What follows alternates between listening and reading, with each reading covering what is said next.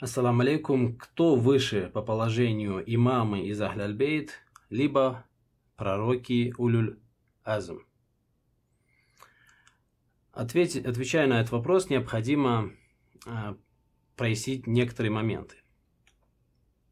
Во-первых, начнем с того, кто является пророком Улюль Азм, то есть величайшими из пророков. Это его светлость Нух, алейхиссалам, его светлость Ибрахим, алейхиссалам, Муса, алейхиссалам, Иса, алейхиссалам и его светлость посланник Аллаха Мухаммад, саллаллаху алейхи ва алихи вассалям.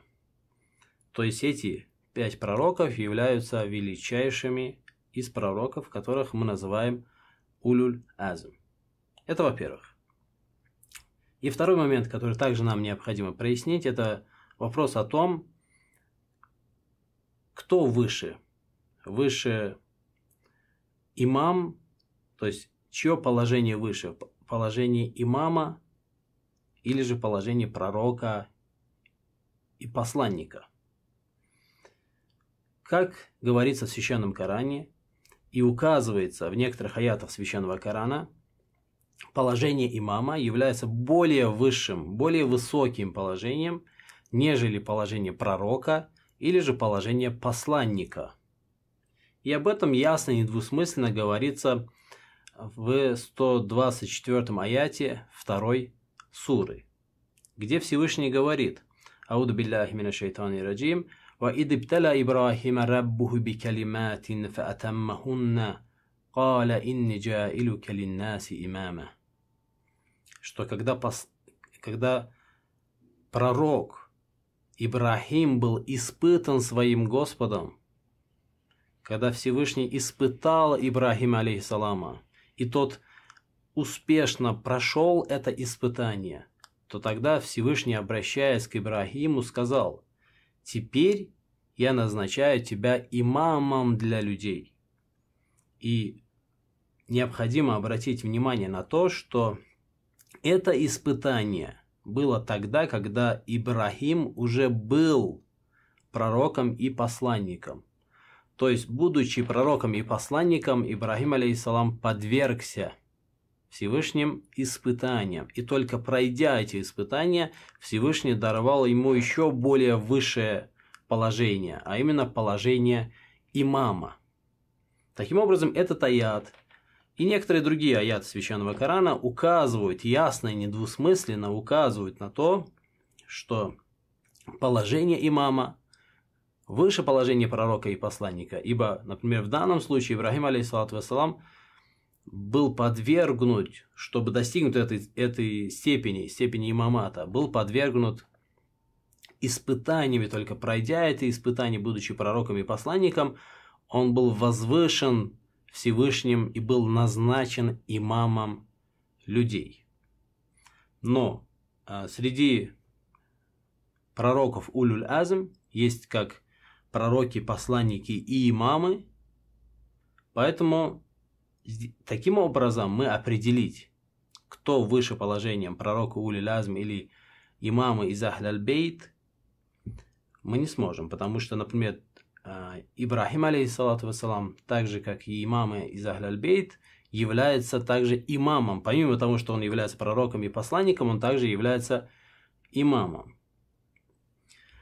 Или же его светлость посланник Аллаха, саллаллаху алейхи вассалям, который, согласно единогласному мнению всех мусульман, как суннитов, так и шиитов, посланник Аллаха, пророк, саллаллаху алейхи вассалям, считается наилучшим из творений Всевышнего – и поэтому естественно, что его светлость посланник Аллаха. Пророк Мухаммад, саллаллаху алейхи ва алейхи вассалям, выше по своей степени, чем имамы из Ахляльбейт. Он является основой этих имамов. Поэтому здесь вопросов у нас не возникает, здесь никаких разногласий нет. А, вопросы возникают относительно остальных пророков. То есть пророка Нуха, пророка а, Ибрахима, пророка Мусы и пророка Исы. Каково а, положение в данном случае? Эти пророки выше имамов Ахляльбейт или же нет? Имамы Ахляльбейт выше этих пророков. И согласно нашим убеждениям, то есть убеждениям э, шиитов, имамитов, положение имамов Ахляльбейт выше, выше положения этих четырех пророков, а именно Нуха, Ибрахима, Исы и Мусы, алейхимуссалам. И об этом наши ученые неоднократно писали, как ранние ученые, так и поздние ученые. Я приведу буквально несколько цитат. Например, в Аль-Эйтигадате шейх Садук, касаясь данного вопроса, пишет следующее. ويجب أن نعتقد أن الله تعالى لم يخلق خلقا أفضل من محمد والأئمة. Что необходимо Шейх Саду говорит, нам необходимо верить и быть убежденными в том, что Всевышний не создавал никого более достойного и возвышенного, чем Мухаммад и, и имамы из Ахляльбейт, и имамы, алейхиссалам. Что они самые любимые творения Аллаха. И самые почитаемые перед Ним. И самые первые признавшие Всевышнего. Это что касается шейх Саду. И, и также э, в своей книге Авайлюль Макалат шейх Муфид пишет следующее – قد قتي قوم من أهل الإمامة بفضل الأئمة من آل محمد صلى الله عليه وآله وسلم على سائر من تقدم من الرسل والأنبياء سوى نبينا محمد что группа имамитов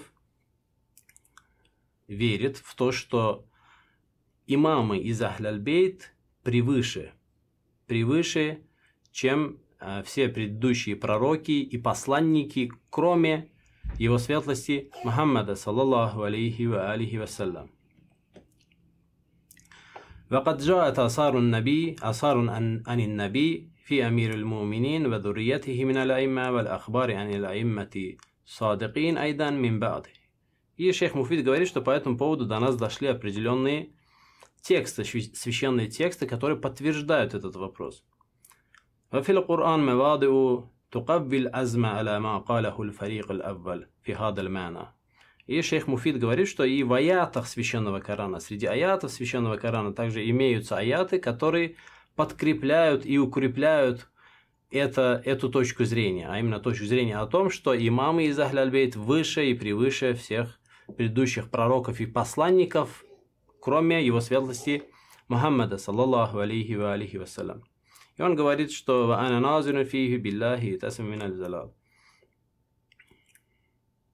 Да, это что касается э, шейха Муфида и также Бихар Лянвари, Мазлиси, Аллами Мазлиси пишет «Илам инна ма анна ма дакараху» то есть он говорит, что знает то, о чем сказал شيخ صدوق من فضل نبينا وأئمتنا صلوات الله عليهم على جميع المخلوقات то есть то, что мы прочитали из слов шейха Садуга о том, что имамы и его светлость посланник Аллаха, саллаллаху алейхи вассалям, превыше всех остальных творений, без исключения. Вакоуне айматина афдалу мин сайр и то, что наши имамы превыше остальных пророков, Мазиси говорит, что в этом вопросе не усомнится ни один человек, кто исследует предания. Кто исследует предания непорочных, тот не усомнится в этом вопросе, то есть в превосходстве наших имамов над всеми остальными пророками и посланниками. Аль-Ахбару фидалик мин антухса.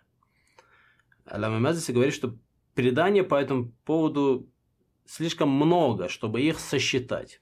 Таким образом, как мы видим, э, наши ученые и наше учение, шиитское учение убеждено в том, что имамы превыше всех остальных пророков и посланников, и что наряду с его светлостью посланником Аллаха, Мухаммадом, саллаллаху алейхи ва вассалям, наши имамы являются наилучшими из творений Всевышнего. Что касается по поводу преданий, как, в принципе, уже было зачитано из слов наших ученых, а, преданий и аятов священного Корана слишком много. То есть очень много имеется священных текстов, как и из аятов священного Корана, так и из преданий, которые свидетельствуют о превосходстве имамов над всеми остальными пророками и э, посланниками, помимо его светлости посланника Аллаха, саллаллаху алейхи ва алейхи вассалям.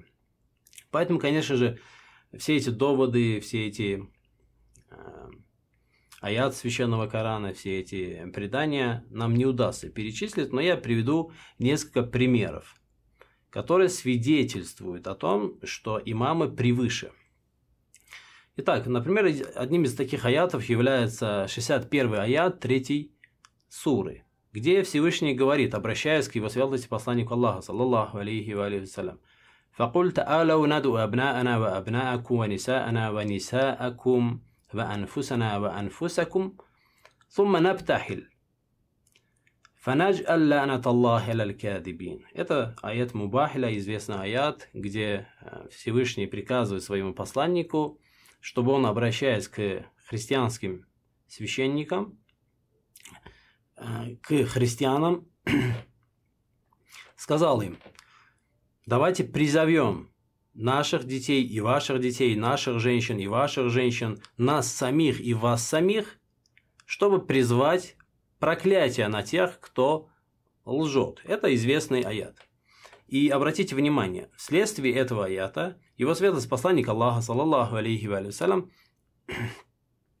позвал с собой следующих людей. Его светлость Али бин Абиталиб, алейхиссалату вассалам, и Хасана, Хусейна и Фатиму, саламуллахи алейха. То есть, э, Согласно этому аяту, где сказано «наших детей», понятно, что Хасан и Хусейн, алейхимуссалам, являются потомками его светлости посланника Аллаха, саллаллаху алейхи вассалям. Фатима является э, из числа женщин посланника Аллаха, саллаллаху алейхи алейхи вассалям.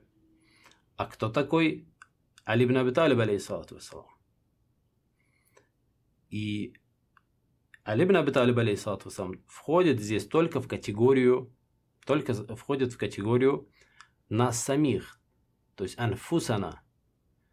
То есть Али ибн Аби Талиб, вассалам, является самим посланником Аллаха, он является самим Мухаммадом, саллаллаху алейхи вассалям. То есть является его душой, его нафсом. А это свидетельствует о том, что свидетельствует о том, что его светлость, то есть с учетом того, что его светлость Мухаммад, саллаллаху алейхи вассалям, является наилучшим из творений, то и тот, кто является его душой, его нафсом, что является им самим, то и этот человек, коим является Али бин Аби Талиб, также является наилучшим из творений, превосходит все остальные творения, точно так же, как их превосходит его светлость посланник Аллаха, саллаллаху алейхи вассалям. Некоторые люди говорят, что здесь имеется в виду сам посланник Аллаха. То есть некоторые говорят, что когда говорится «давайте позовем нас самих», не имеется в виду «давайте позовем Али бин Аби Талиб, алейхиссалату а имеется в виду «давайте позовем самих себя», то есть обращаясь к пророку, Всевышний говорит, призови самого себя. Но это неправильное толкование данного аята. Почему? Потому что самого себя куда-то призвать нельзя. То есть э, наду, которое здесь слово, которое наду, призовем, позовем, которое здесь использовано, оно не используется в отношении самого себя. То есть вот это вот э, дуа, оно используется в отношении других, когда ты кого-то зовешь. И поэтому вот это вот анфусана, нас самих, это кто-то помимо самого посланника Аллаха, саллаллаху алейхи ва алейхи вассалям. Кто-то помимо пророка. И из числа этих людей, которых призвал его святость посланник Аллаха, саллаллаху алейхи вассалям, им может быть только его святость Али ибн Аби Талиб, алейхиссалату вассалам. Таким образом, этот аят свидетельствует о том, что Али ибн Аби Талиб, вассалам, будучи душой и самим посланником Аллаха, саллаллаху алейхи вассалям, который является наилучшим из творений, превосходит всех остальных э, все остальные творения его, э, все остальные творения Всевышнего. Это один из аятов. Опять-таки, имеется множество других аятов. В силу того, что в силу того, что некоторые из этих аятов нуждаются в толковании, развернутом толковании, нуждаются в том, чтобы мы переводили для и понимания этих аятов переводили из разных источников э, предания, то, естественно, все эти э, аяты мы разбирать не будем.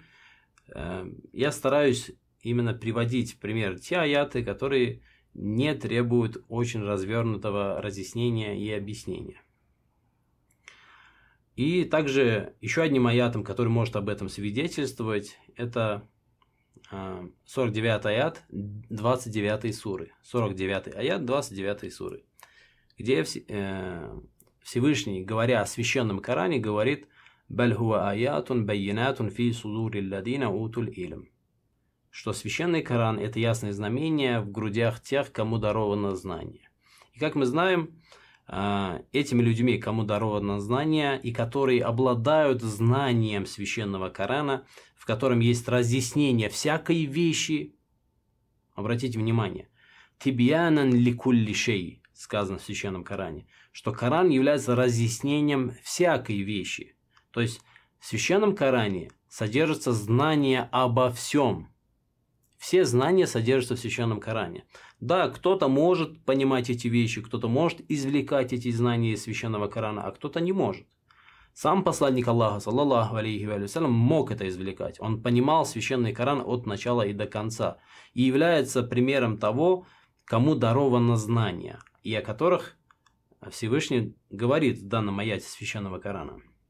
Но помимо его светлости посланника Аллаха, саллаллаху алейхи вассалям, как мы знаем из преданий, а, из огромного количества преданий этими людьми, кому даровано знание, являются именно Ахляльбейт, имамы из Ахляльбейт. В частности, его, его светлость имам Садыг, алейхиссалату вассалам, однажды спросили, кто являются, кем являются эти люди, о которых говорится в этом аяте священного Корана, которые обладают знаниями, которым даровано знание. Имам Садыг, алейхиссалату вассалам, в некоторых преданиях говорит, что это мы, что мы, это мы, ахля, имамы из Ахляльбейт. Но в некоторых преданиях имам Садыг, алейхиссалату вассалам, э, согласно некоторым преданиям, приводит доводы и доказательства. Он апеллирует аргументами его святости имам Садыг, алейхиссалату вассалам. Он говорит, что это те люди, которые относительно священного Корана ни на один вопрос не отвечают «не знаю». То есть нету в священном Коране ни одного вопроса, который ты им задашь, а они скажут «я не знаю».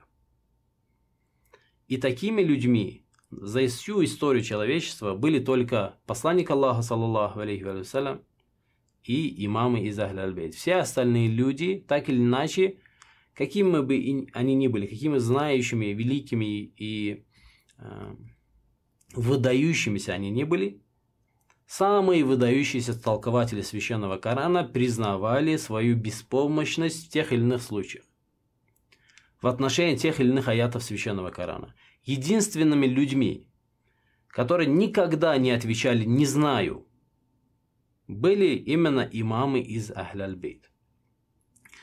И теперь можете спросить, каким же образом этот аят священного Корана свидетельствует о превосходстве имамов из Ахляльбейт над всеми остальными пророками и над всеми остальными э, посланниками, кроме Мухаммада, саллаллаху алейхи ва алейхи. Ислам – это священная религия. Коран – это священная книга. И тот, кто обладает этой священной религией, в совершенстве владеет этой священной религией и в совершенстве владеет священной, совершенной книгой, коим является Коран, вне всякого сомнения превосходит тех людей, тех пророков и тех посланников, которые не обладали знаниями священной книги, подобной священной книги, то есть совершенной книги. А совершенно очевидно, что предыдущие пророки и посланники их религия была несовершенная, те книги, которые они принесли, она была несовершенная. Совершенной книгой является именно священный Коран. Естественно, таким образом доказывается, очень просто и понятно доказывается превосходство имамов Ахляльбейт над остальными пророками и посланниками. И поэтому знание имамов Ахляльбейт, их религия, именно ислам, она совершенна. То есть имамы Ахляльбейт, они являются совершенными последователями совершенной религии. А все предыдущие пророки и посланники, они не являются совершенными, они не являются последователями совершенной религии. Да, они совершенные последователи своей несовершенной религии. Своей а, религии, которая отличается от ислама, где ислам является более совершенной религией, как говорит Всевышний в Священном Коране «Аль-Яума акмальту лакум динакум ва атмамту алейкум ни'мати ва радиту лакум ислама дина». Что сегодня я усовершенствовал для вас вашу религию, довел до конца свою милость над вами и теперь доволен исламом как религией. То есть именно ислам является совершенной религией. Все остальные религии нуждались в том, чтобы их усовершенствовать. Поэтому эти пророки, они следовали своим религиям. Как, например, сказано в данном же предании, они следовали, наилучшим образом следовали своим а, учениям, своим религиям.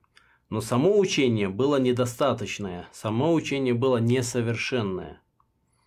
Религия стала совершенной именно когда пришел ислам, когда пришел, был неспослан священный Коран – и поэтому какие могут быть сомнения относительно того, что наилучшие и совершенные последователи совершенной религии являются превыше, превосходят совершенных последователей несовершенной религии. В данном вопросе никаких вопросов просто-напросто быть не может. И, конечно же, крайне нелогично утверждать о том, что а, пророки и посланники, которые были до ислама, они превосходят имамов из Ахляльбейт.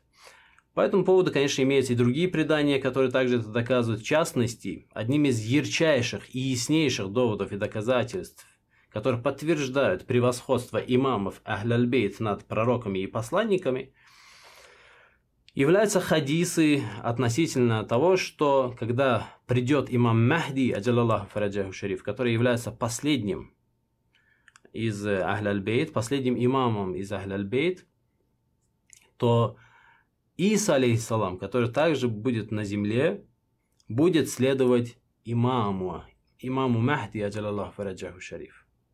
И это, конечно же, является доводом и доказательством того, что имам Махди превыше Исы, превосходит Ису, алейхиссалама. В противном случае имам Махди должен был бы следовать за Ису, алейхиссаламом. Это предание под номером 3449. В русском издании это номер под номером, это, это предание под номером 1374. В Сахи Аль-Бухари это предание приводится, и у нас тоже в наших книгах это предание имеется где говорится, что его светлость посланник Аллаха, саллаллаху алейхи ва салям, изволил сказать «Кейфа антум ида назала ибн Марьяма фикум ва имамукум минкум». Табааху укейл. Та, да. А, и посланник Аллаха, саллаллаху алейхи ва салям, говорит, каково то, что когда Иса, алейхиссалам, спустится на землю и будет среди вас, а имамом людей, имамом человечества на тот момент будет некий человек, некий человек из вашей среды. То есть имамом Иса, алейхиссалама, будет тот, кто будет из вашей среды, из вашего числа. Это предание приводится от Сахих аль-Бухари в русской версии под номером 1374. Таким образом, а, Конечно, опять-таки, этот э, вопрос э, нуждается в более развернутом ответе для большего исследования, для более подробного исследования. Э, очень много преданий, очень много аятов Священного Корана, доказывающих превосходство Ахляльбейт над пророками и посланниками, но это вот относительно короткий ответ.